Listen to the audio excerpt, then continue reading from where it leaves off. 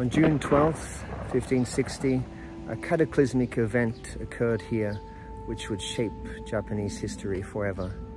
So stay tuned as we look at the Battle of Okehazama. In 1560, Imagawa Yoshimoto decided to march towards Kyoto to stamp his authority on the country through the ailing Ashikaga shogunate. There was only one man standing in his way, Oda Nobunaga. Among Imagawa Yoshimoto's army, there was the young Matsudaira Motoyasu, later to be known to posterity as Tokugawa Ieyasu, the first of the Tokugawa shoguns. Imagawa Yoshimoto had a force of approximately 25,000 men. Oda Nobunaga had about 2,500.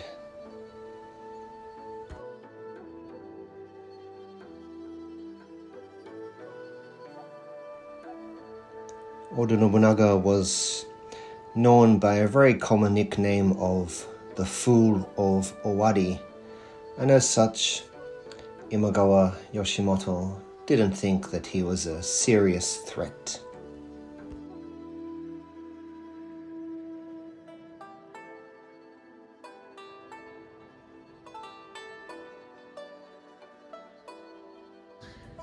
Ieyasu wasn't at the battlefield. He was resting in one of the local fortresses which he'd captured. The capture of these fortresses had given Imagawa Yoshimoto enough confidence to prematurely declare victory. And sorry about the background noise, but as I'm doing this in a public park, it just cannot be helped. Many of his men cautioned Nobunaga to wait out Imagawa Yoshimoto in Kiyosu Castle on Verin Pass, but he had different ideas and decided to go for a surprise attack, considering if cut off the head of the snake, the rest of the Imagawa army would wither. It's quite a gamble that Nobunaga took. He was outnumbered at least 10 to 1. Imagawa Yoshimoto had about 25,000 troops encamped in this valley. He only had about 2,500 to field against him. However, he was helped by the fact that there was a quite fortunate thunderstorm to cover the surprise attack. And so the Battle of Okehazama began.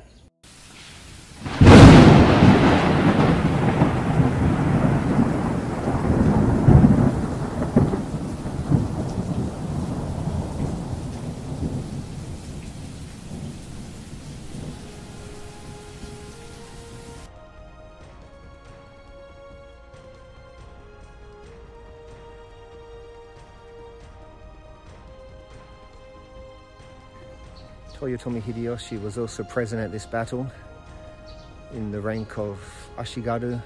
As to how much he participated is open for debate. However, in Rise of the Monkey, I decided to give him some combat action.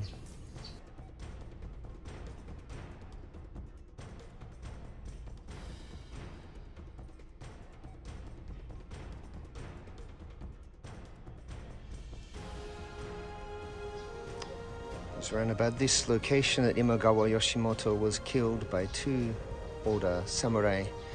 At first he thought that a drunken fight had broken out amongst his men, and in the confusion his head was taken.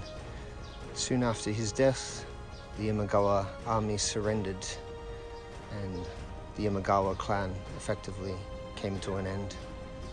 This greatly upset the balance of power, leaving Nobunaga in a strong commanding position of central Japan hereafter.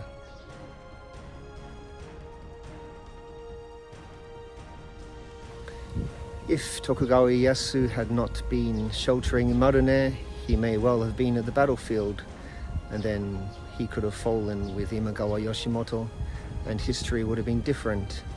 However, with the death of Yoshimoto, he was then freed from his hostage ship to the Imagawa clan and he was also free to forge his own destiny, which he did by forming an alliance with Oda Nobunaga soon after.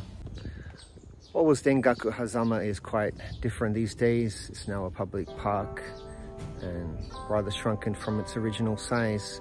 However, a key battle in Japanese history took place here at odds of 10 to 1 or even more.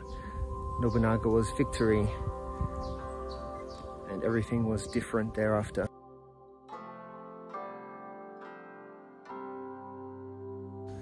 Thank you for watching today's video on the Battle of Okehazama. Don't forget to like, subscribe and check out my Amazon page through the link in the description. Thank you for watching.